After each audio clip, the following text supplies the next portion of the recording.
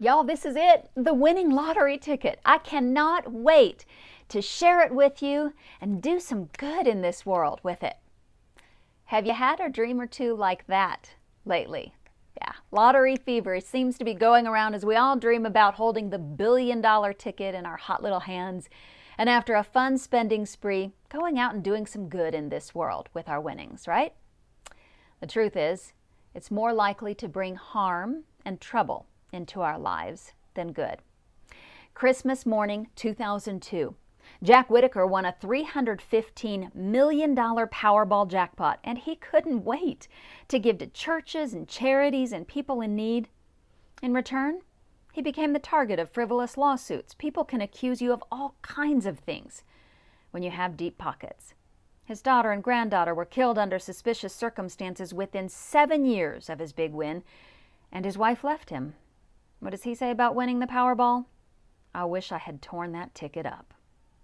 This lucky guy, Abraham Shakespeare, was found buried in a makeshift grave under a concrete slab less than three years after winning the lottery. A woman who befriended him and offered to help manage his money murdered him instead. And Billie Bob Harrell Jr., a lottery winner who once dreamed of being a minister, thought finally his day had come. He could not only provide for his family, but give generously to his church and needy parishioners. But you know, the more he gave, the more people wanted. Ultimately, family members turned on him, his wife left him, and he committed suicide just two years after hitting it big. No matter how much good you think you can do with lottery winnings, the world can do more harm. Listen to what Paul writes in 1 Timothy. Godliness combined with contentment brings great profit. For we have brought nothing into this world, and so we cannot take a single thing out either. But if we have food and shelter, we will be satisfied with that. Those who long to be rich, however, stumble into temptation and a trap and many senseless and harmful desires that plunge people into ruin and destruction.